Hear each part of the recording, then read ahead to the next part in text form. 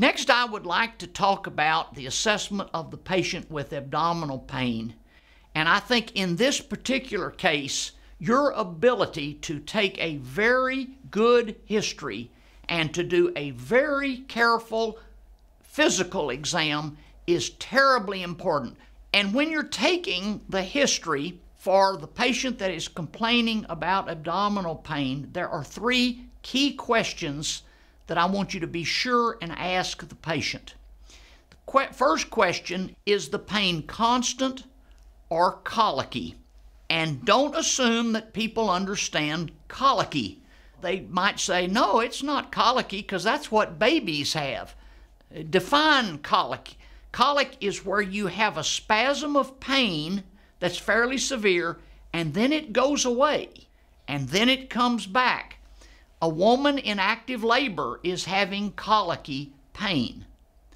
Colicky pain means that the intestines are working, the ureter perhaps is working. Uh, in the case of pregnancy, the uterus is working, it's functioning, but it's functioning against obstruction.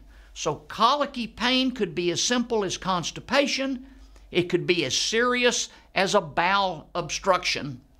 In the case of the kidney and the ureter, it could be an obstructing ureter stone. So, constant or colicky. Colicky pain can be very severe. Uh, I don't want to minimize that, but constant pain is much more serious than colicky pain. The second question you want to ask the patient is Do you have vomiting or nausea or anorexia? Any of those. Once again, don't assume that they know what anorexia means. Be sure you define words in the language that they can understand. But there is no significant, serious abdominal condition where there is not at least vomiting, nausea, or anorexia. Now, one of my professors always told me there are two words we don't use in medicine always and never, but hardly ever are you going to find a patient with a significant intra abdominal pathological process who does not have anorexia, nausea, or vomiting. The third question in female patients of reproductive age be sure and ask about a menstrual history because any suspicion of a missed or late menstrual period, you must think about a ruptured ectopic pregnancy.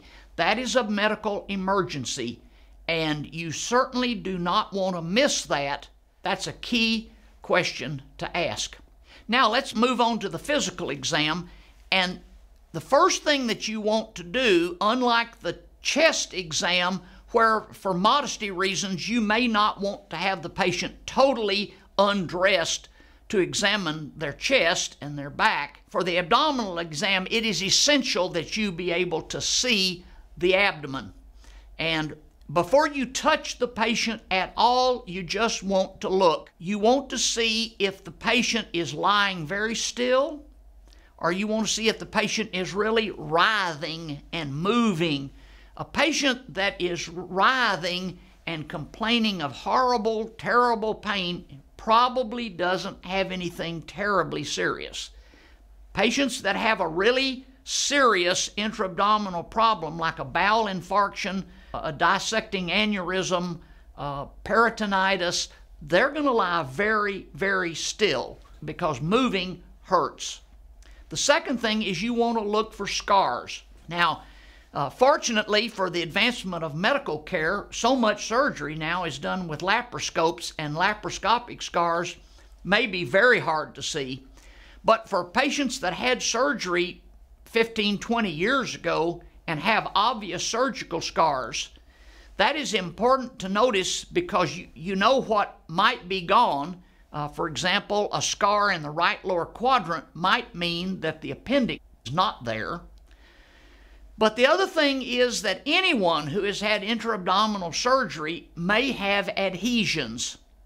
And those adhesions can cause partial or complete bowel obstructions. And so, if you have someone that has colicky pain and has surgical scars, you need to think about a partial or a complete bowel obstruction. Now, once you've looked at the abdomen, the next technique to do before you start palpating, hold off on palpating because once you start palpating, if you hurt the patient or even tickle the patient, you have lost some of your ability to do a careful exam. So you want to just examine with your stethoscope, get the room as quiet as you can, and take a full 30 seconds or a full minute, it will seem like forever, and listen carefully for bowel sounds. If you hear gurgling, rumbling sounds, bowel sounds, then right then and there you know you are not dealing with a really serious problem.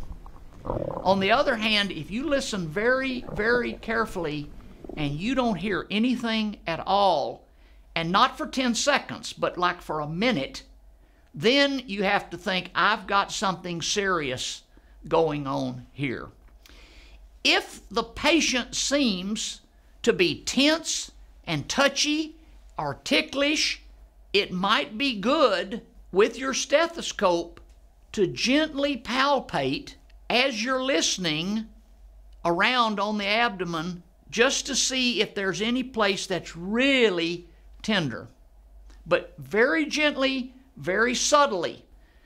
Now it's time to palpate, but instead of you palpating, ask the patient to palpate themselves. Encourage them to actually move around their abdomen, gently palpate, maybe even deep palpate, watch what they do, and see where it seems to hurt. This will give you a lot of information because the patient will generally palpate themselves more deeply than they will let you do it. And so you can get an idea of where the patient is tender. And you can ask the patient, where is it most tender? Uh, typically, epigastric tenderness would you'd think gallbladder, stomach, uh, pancreatitis, lower abdominal pain below the umbilicus, you're thinking about colon, bladder, large intestine, appendicitis, and of course, always, always, always think about ectopic uh, pregnancy, ruptured ovarian cyst. Do not forget the gynecological diagnoses. Now, finally, it's time for you to palpate, and I think it's a good idea if you can warm your hands, put your hand on the patient, and just let it rest there. Just let them get used to the fact that your hand is touching them. And then start on the place on the abdomen where they were least tender. Don't go directly to where they were most tender. Go as far from it as you can and palpate there. And that's where you want to test for rebound. That's where you want to push in and then let go and let the abdominal wall rebound and see if that hurts. Because if the patient winces, then almost certainly you've either got some abdominal wall pain, like they were doing too many sit ups, or you've got peritonitis, and that's serious. And then finally, the very last thing you do is you eventually get to where they were hurting the most and you confirm how tender they are there. For example, if you're palpating in the right lower quadrant and that's where they said they were most tender, see if they are just slightly tender or moderately tender or very, very tender. That will give you some uh, evidence of, of how serious this diagnosis is. Finally, you will very often have a patient who is complaining about abdominal pain, but you have done this careful history and you have done this careful physical exam and you haven't really found anything that's terribly impressive except that they seem to be diffusely, vaguely tender all over their abdomen. A useful test uh, assuming, of course, the patient is lying down, which they will be if you're doing this exam properly, is ask them simply to raise their legs. You can gently assist them to raise their straight legs and then ask them to hold it there. Now, for a lot of people who are not very athletic, this will be somewhat difficult.